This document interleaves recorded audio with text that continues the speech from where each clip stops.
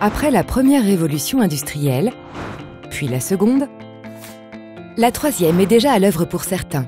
La croissance exponentielle de la puissance de calcul et des capacités de stockage en informatique ont fait entrer dans l'ère du numérique notre société, à commencer par le secteur de la santé.